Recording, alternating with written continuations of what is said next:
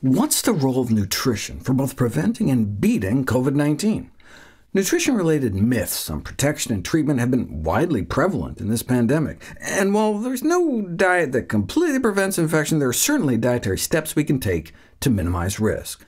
Those with healthier diets in general seem to suffer less serious courses. But this appears to be an indirect benefit of lower rates of obesity and pre-existing medical conditions. I mean, that's great, but is there any diet that may have direct effects on the course of disease or susceptibility to infection in the first place? Well, plant-based diets have been shown to decrease the risk of suffering from other respiratory infections. In fact, plant-based seminaries during the pandemic of 1918 appeared to have been relatively spared. Why might a plant-based diet help? Vegetable nitrates, concentrated in dark green leafy vegetables, can be used to make nitric oxide, which is part of our lungs' first line of defense against infection. There are also polyphenol phytonutrients in plants that may directly inhibit viral infection. Then there are beneficial effects on our microbiome, which plays a key role in our system-wide immune function. Fiber-containing foods facilitate more of a symbiotic relationship with our gut bugs, whereas processed junk and animal foods can have the opposite dysbiotic effect. Fiber concentrated in whole plant foods, is the single most anti-inflammatory food component, whereas saturated fat, concentrated in meat, dairy, and junk, is the most pro-inflammatory food component. And so, no surprise, those consuming more pro-inflammatory diets were at greater risk of suffering a severe course and of getting COVID-19 in the first place, up to nearly 12 times the odds, even after taking into account body weight, diabetes, and blood pressure. But this study only covered 60 COVID patients. How about 11,000 COVID patients?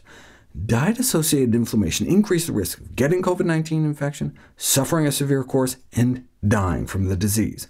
Might this help explain why the COVID death rates were 100 times lower in Africa? Can a plant-based diet help mitigate COVID-19? Let's find out. In this study of COVID-19 illness severity in the elderly in relation to vegetarian versus non-vegetarian diets, statistically, the non-vegetarians had up to like 20 times the odds of suffering a critically severe course of COVID, but that was based on only nine vegetarians. Now here, a study of thousands of frontline healthcare workers across six countries found that those eating plant-based diets had 73% lower odds of suffering a moderate or severe course of COVID-19, and even combined with pescatarians who eat fish but no other meat still had significantly lower odds. The biggest spread was between those eating plant-based versus low-carb.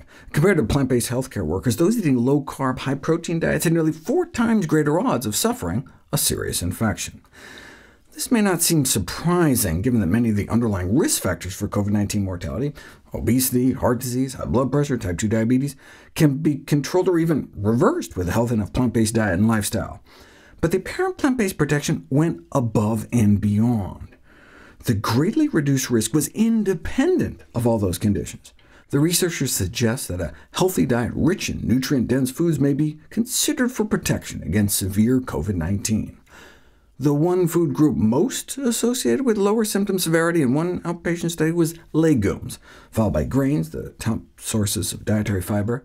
The investigators suggest that the anti-inflammatory effects of the short-chain fatty acids released by our fiber-feeding good gut bugs may explain the connection.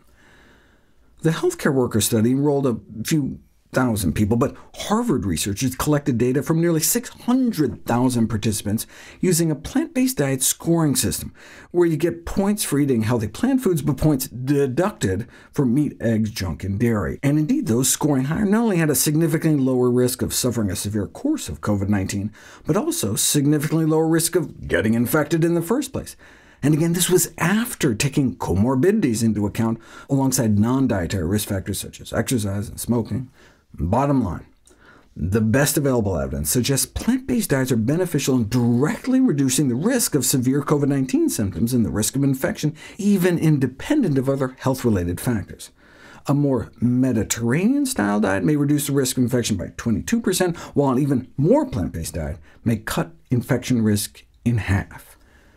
For dealing with long COVID, a plant-based diet has been suggested based on the abundance of data showing positive associations of plant-based diets with improved immune function, neurotransmitter balance, pain and inflammation reduction, improved sleep, and mental health. So in terms of lifestyle adjustments and long COVID management, large-scale promotion of plant-based eating may have the potential to improve physical and mental impacts, but this has yet to be put to the test. There was a study that suggested those who eat more vegetables are less likely to end up depressed, and those who eat more nuts, beans, and whole grains may end up less depressed, anxious, and stressed after COVID, whereas stress levels were correlated with higher meat intake. But the only interventional studies are like this, uh, showing a detrimental impact on high-fat, high-sugar diets, but that's in Syrian hamsters, though there's definitely some unhappy hamster lungs on the crappy diet. All in all, Adopting a healthy plant-based diet may be a powerful tool to decrease the risk of severe COVID-19 and should be promoted as a public health safety measure. And what are the side effects? A delay in aging and decreased disease. Maybe this is the booster we need. After all, if real effort had gone into encouraging and incentivizing healthier diets and lifestyles, we would not only have saved many more lives from COVID-19, but we would also reduce future mortality from all major causes of death.